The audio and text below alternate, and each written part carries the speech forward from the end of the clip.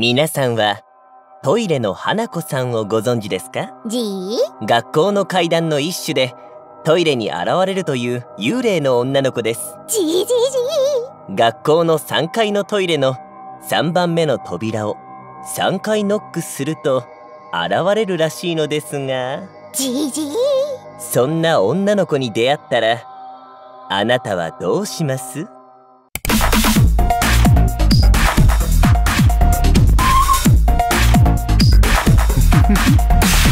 ブラックチャンネル。じ姫ちゃん僕と遊びましょう。女の子たち僕と一緒に給食食べましょう。キモキモいだなんてひどいです。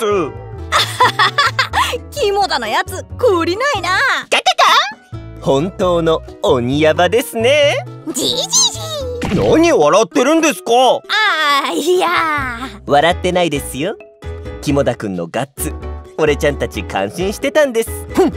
君たちが僕のことをバカにしてるのは分かってるんです。運命の出会い。おお腹が痛いです。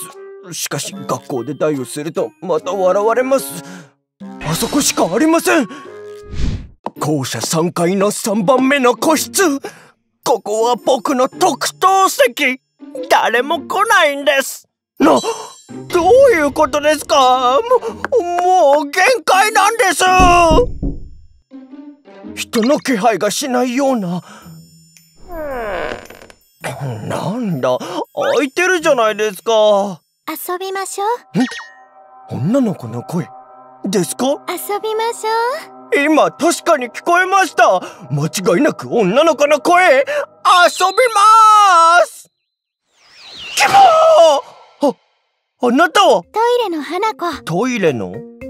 珍しい名字ですね。名字じゃないよ。トイレにいるからトイレの花子なの。なるほど。っていうかあなた。僕のことキモくないの？肝田くんとトイレの花子さん。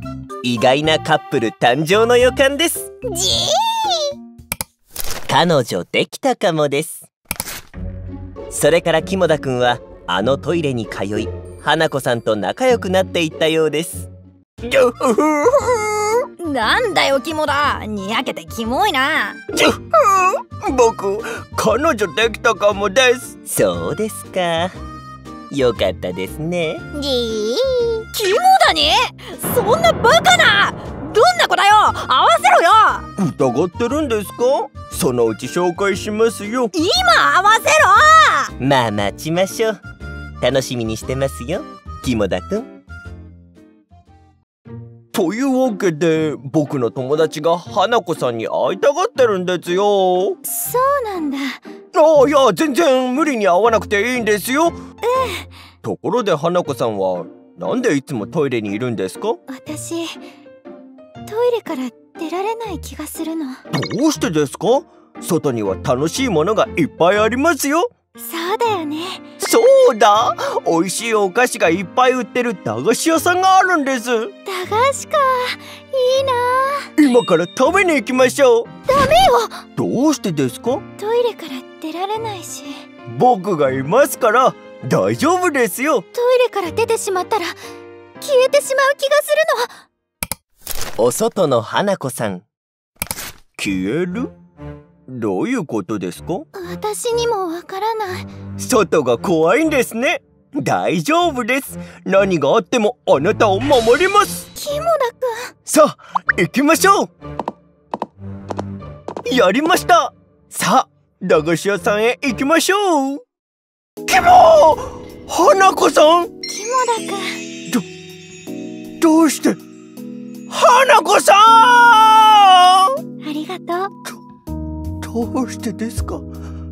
これから一緒に思い出作ろうと思ったのに。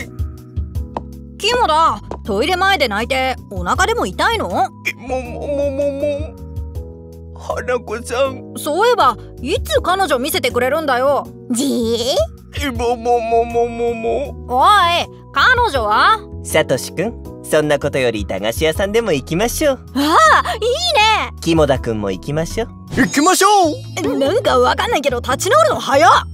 カッカッカじーちちち。なぜ花子さんが消えたのかって？そうですね。肝田くんの思い出成仏できたのかもですね。じー動画を気に入っていただけたらチャンネル登録高評価よろしくです。次の鬼ヤバなテーマは君かもしれませんよ